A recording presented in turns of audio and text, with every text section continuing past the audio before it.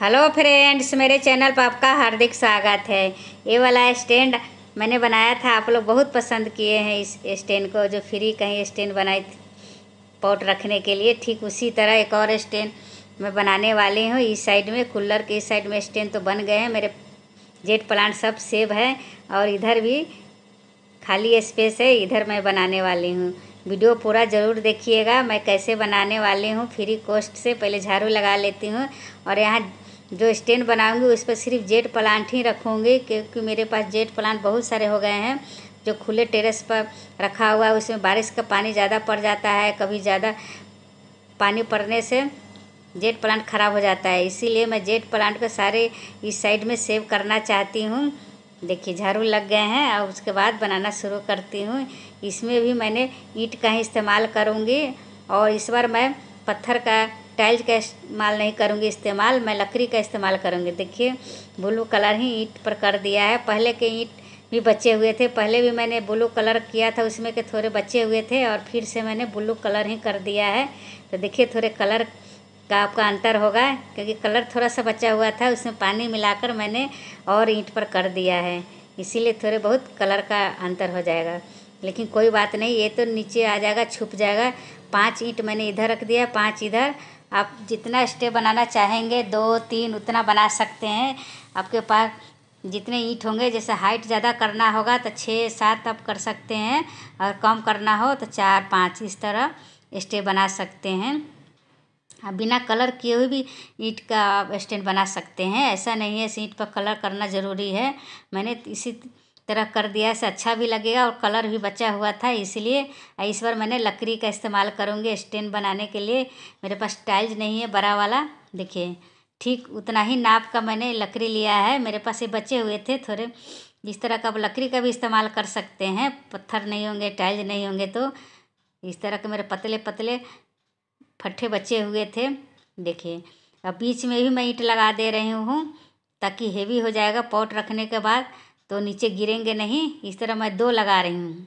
पतला पतला है, इसीलिए मैं दो लगा रही हूँ। इसको मैंने कलर कर दिया है। दो दिन पहले, आप स्क्रीन पर देख रहे होंगे कलर कर दिए हैं दो दिन पहले ताकि सूख जाए। अच्छे से ऑल पेंट बचे हुए थे, वहीं कर दी हूँ, ताकि सूखने के बाद ये अच्छा हो जाएगा। इसलिए मैंने दो दिन पहले ही कलर कर दिया है। चलिए बीच में इसको लगा देती हूँ पाँच ईंट और, ताकि मैं इस पर जो पॉट रखने वाली हूँ सीमेंट का और मिट्टी का वो हेवी है जेट प्लांट ही रखने वाली हूँ। इस तरह का ही एक स्टेप बन गया और दूसरा स्टेप इसके नीचे बनाऊँगी देखिए। इस तरह आप लोग भी लकड़ी हो कोई भी बचे हुए छोटा भी बड़ा भी जिस तरह चा, बनाना चाहेंगे स्पेस के हिसाब से उस तरह से बन जाएगा। और नीचे में मैं चार लगा रही हूँ। ऊपर पाँच लग रहे हैं नीचे तीन लगाऊँगी। चार नहीं ताकि थोड़ा हाइट नीचे रखूँगी। और दोनों स्टैंड में बराबर ही बना रही हूँ। कोई इधर कोई उधर नहीं। ताकि अच्छा भी लगेगा देखने में। मैं तीन ही लगाऊँगी, इसके साइड में। उधर भी मैंने इसी तरह लगाया था। आप लोग बहुत पसंद किए हैं। उम्मीद है इस वीडियो को भी पसंद करेंगे, इस स्टैंड को भी। ये देखिए, कलर करने के बाद देखिए, थोड़े अंतर हो गए हैं। मेरे पास कलर थोड़ा सा बचा हुआ था ईट पर करने के लिए। देखिए, इस तरह का हो गया है। और यहाँ पर भी मैं लकड़ी रख दे रही हूँ। पतला पतला मेरे पास बचा हुआ था, उसको कलर करके रख दे रही हूँ। ये देखिए, दो स्टेप बन गए हैं। और इस पर मैं अब पॉट रखूँगी, उसके बाद मैं थ्री स्टेप बनाऊँगी। ये देखिए दोनों फट्टे जो बचे हुए थे, उस पर कलर कर दिया। देखिए जेट प्लांट का मैंने छोटा सा ही मोर बनाई हूँ। बड़ा बड़ा मोर तो मेरे टेरेस पर रखा हुआ है। वो तो बहुत बड़ा हो गया है, वो बाहर ही रहेगा, ये छोटा छोटा ये बेबी सबका बनाई हूँ, मोर का दो बने हुए हैं इसमें, दोनों को मैंने किनारा में रख दिया है, दो किनारा में। अच्छा लग रहा है, देखिए। और पॉट्स पर मैंने बहुत पहले ही येलो कलर कर दी हूँ। देखिए, अब बीच में ये तो प्यारी बनाई थी आप लोग के साथ, शेयर भी किया था, वो तो प्यारी बीच में रख दे रही हूँ। देखिए, अच्छे से ग्रो हो रहे हैं। इसमें ज़्यादा पानी नहीं देना है। बारिश में मैंने इसको हटा के रख दिया था। इसमें सारे कटिंग लगे हुए थे, सब खराब हो जाता, गल जाता। है इसीलिए जेट प्लांट को ज़्यादा पानी नहीं देना चाहिए। फुल सनलाइट में रखिए, लेकिन पानी बहुत कम दीजिए। इस तो प्यारे को मैंने उठा कर साइड में छाया वाला जगह पर रख दिया था ताकि पानी नहीं पड़े। देखिए, इसमें भी जेट प्लांट है तो बनाने के लिए मैं इसको भी तैयारी कर रही हूँ और इसमें छोटा सा बीच में मैंने लगाई हूँ। और इसमें भी मैंने टोप्यारी बनाया था जो आप लोग के साथ शेयर भी किया था। देखिए, दो स्टेप बन गए, दोनों पर मैंने रख दिया और ये देखिए बोतल से ये देखिए, इसमें होल करके और देखिए इसमें टेडी बियर और मिक्की माउस मैंने पहले ही ड्राइंग किया था, देखिए। और इसमें भी होल करके मैंने जेट प्लांट लगाई हूँ। अच्छे से चल रहे हैं। बस जेट प्लांट को पानी का ध्यान रखना है। जो भी पॉट में लगाइए बेल्ड्रिन मिट्टी लगाइए, होल बनाइए ज़रूर। देखिए, इसमें भी मिक्की माउस बने हुए हैं और उसमें भी। तीनों में बनाकर मैंने जेट प्लांट लगा दिया है। बहुत अच्छे से चल रहा है। देखिए, इधर भी स्टैंड पर अच्छे से चल रहे हैं और इधर भी प्लांट अब मेरा सारे अच्छा से चलेगा क्योंकि इधर ज़्यादा पानी नहीं पड़ेगा। चलिए, तीसरा स्टेप बनाती हूँ।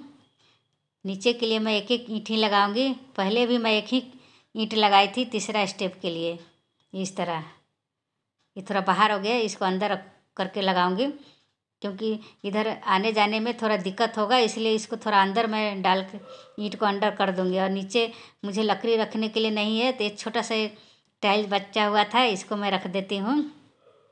इसको तो कलर करने की ज़रूरत नहीं है। देखिए इस पर एक बुद्धा जी है। ये बहुत पहले मैंने नर्सरी से लाया था। ये मिट्टी का बना हुआ है, पचास रुपये में लाई थी। इसको यहाँ बैठा देती हूँ और छोटे छोटे बुद्धा जी इधर बैठा देती हूँ। सुंदर लगेगा, देखिए। कितना खूबसूरत लगने लगा। देखिए, आप पॉट स्टैंड बनाए, उस पर पॉट ही नहीं ज़रूरी रखना, कोई भी चीज़ रख सकते हैं। ये देखिए, मैंने एक गुलाब का फूल भी इस पर डाल देती हूँ बुद्धा जी के लिए। ये देखिए, कितना खूबसूरत लगने लग। रहा है बनने के बाद। और ये मशरूम सब बनाई थी। और ये देखिए कुल्हर में जो चाय के छोटे छोटे कुल्हर में भी मैंने कलर करके जेट प्लांट लगाई थी। वो सब इधर रख देती हूँ। ये आप लोगों के साथ शेयर भी किया हुआ है जब वीडियो बनाई थी। ये सब छोटे छोटे हैं लेकिन इसमें भी पानी ज़्यादा पड़ने से ख़राब हो जाएगा। इसको भी सब स्टैंड पर रख देती हूँ। और जितने सारे कप मेरे घर में खाली होते रहता है उसमें जेट ही प्लांट ज़्यादातर मैं लगाती हूँ। क्योंकि जेट प्लांट मुझे बहुत पसंद है। ये देखिए। जेट प्लांट इतना अच्छा लगता है कि हर चीज़ में मैं जेड ही प्लांट लगा देती हूँ। जब भी कप हो, मग हो टूट जाते हैं किचन में, उसको होल बनाकर मैं जेड प्लांट लगा देती हूँ। और देखिए, डब्बा छोटे छोटे डब्बे में भी मैंने होल करके जेड ही प्लांट लगाए हैं। ये दोनों स्टैंड मेरा सिर्फ़ जेड प्लांट के लिए ही बने हुए हैं। सारे जेड प्लांट मेरे इधर सेव हो गए हैं। और बीच बीच में देखिए, मशरूम हो, कोई भी चीज़ रख के डेकोर कर सकते हैं। कितना अच्छा लगने लगा। देखिए, इधर थोड़ा खाली लग रहा है। ईंट दिख रहा है। तो इधर भी मैं प्लांट रखूँगी। देखिए इस साइड में भी जेट प्लांट का स्टैंड बन गया फ्री का, और इधर भी। कितना खूबसूरत लग रहा है। और सारे जेट प्लांट मेरे इधर आ गए। लेकिन अभी भी मेरे जेट प्लांट नीचे में बहुत सारे पॉट में लगे हुए हैं। वो सब सेब है छाया वाला जगह में रखा हुआ है। ऊपर के जितने हैं, मैंने इधर स्टैंड पर रख दी हूँ। देखिए, इस तरह का दो स्टैंड मेरे फ्री के बन गए।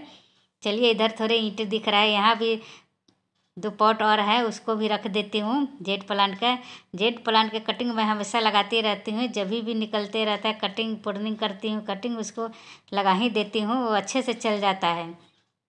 इस साइड का जो ईंट दिख रहा है, इधर भी मैं रख देती हूँ। देखिए, नज़दीक से थोड़ा दिखा रहे हैं, कितना खूबसूरत लग रहा है। देखिए आप लोग ज़रूर पसंद करेंगे। वीडियो पसंद हो तो ज़रूर लाइक करिए, सब्सक्राइब करिए, साथ के साथ शेयर भी कीजिए। देखिए, इस नर्सरी वाले पॉट था, इसमें भी मैंने कटिंग बहुत सारे लगा दिए, सारे ग्रो हो गए हैं। अब इधर दोनों तरफ़ ये पॉट रख देने से ईंट नहीं दिखेगा और छुप जाएगा, देखिए। देखिए, छुप गया। कितना खूबसूरत लग रहा है। चलिए, दूर से दिखाती हूँ, दोनों स्टैंड मेरे। दूर से दिखने में कैसा लग रहा है, वीडियो अच्छा लगे। ज़रूर लाइक करिएगा फ्रेंड्स देखिए, इस तरह मेरे दो स्टैंड फ्री का बन गए हैं। आप लोग भी इस तरह का स्टैंड बनाइए। कुछ भी घर में बच्चे हो सबसे स्टैंड बन जाता है। लकड़ी हो पत्थर हो टाइल्स हो, ईंट हो, उससे इस तरह का बाज़ार से लाने की ज़रूरत नहीं पड़ेगा। फ्री कहीं स्टैंड बन जाएगा। कोई भी प्लांट रखिए। मैं तो जेट प्लांट के लिए श्री बनाया हूँ। आप कोई भी प्लांट इस पर रख सकते हैं, सजा सकते हैं। कैसा लगा वीडियो? अच्छा लगे लाइक करिए। Thank you friends